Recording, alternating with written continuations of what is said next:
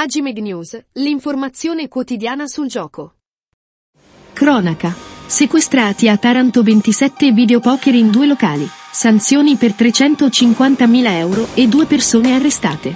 Online. L'Agenzia delle Dogane e dei Monopoli ha messo a disposizione dei concessionari gli importi delle garanzie da presentare per la proroga delle concessioni. L'adeguamento è da effettuare entro il 31 marzo.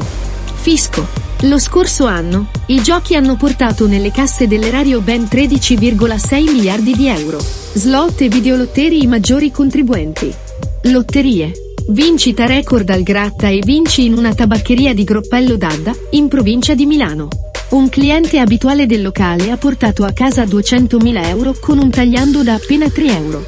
Calcio. Nel derby Inter-Milan, i bookmaker vedono favoriti i nerazzurri. Napoli pronto ad allungare in testa alla classifica nella trasferta di La Spezia. Agimeg, l'agenzia di stampa numero uno in Italia sul mercato dei giochi.